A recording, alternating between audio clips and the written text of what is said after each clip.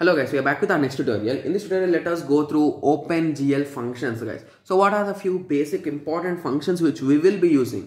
So the first function that we will be using is nothing but primitives guys. So it defines the low level objects such as points, lines, segments. So those are nothing but primitives. So if you want a small example, I'll be showing you what are the primitives guys. Just give me a second. Okay. So the primitives are nothing but the shapes guys. So like point circle straight line quadrilaterals those are nothing but your primitives. Okay? So i have just written here. So sorry for that. I was just searching. So those are it's written right here guys. Okay? So now let us go through attributes. So attributes are nothing but the exact location of that point guys. It's the size width about it is nothing but your attribute. So attribute determine the appearance of the object okay. So i hope everyone got a small idea on this. So if you want me to say small examples of those attributes.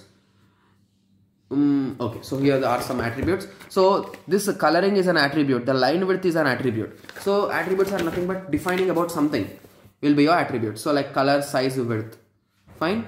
So viewing function. So viewing function is nothing but in which view the camera should view. Like perspective or orthogonal or any kind of any kind of different positions or angular views like that angular views will be coming under oblique views guys. Fine? Okay.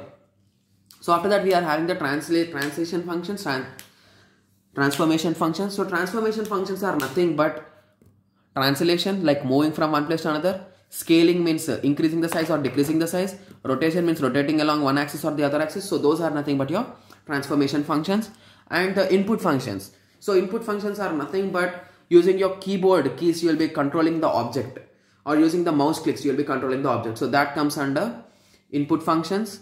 After that we are having the control functions. So control functions are nothing but th these are used to control the object guys according to our requirement. And we are also having the query functions. So query functions are to get the information.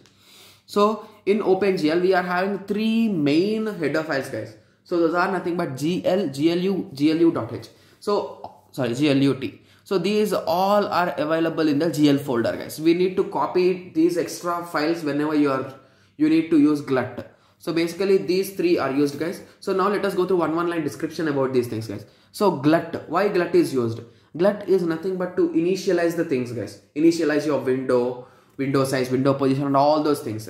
Like whatever you write in your main with glut as initial thing, all those comes under this topic of glut.